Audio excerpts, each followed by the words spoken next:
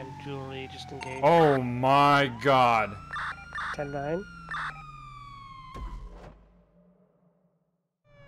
Uh, Rant or Wes, are you okay?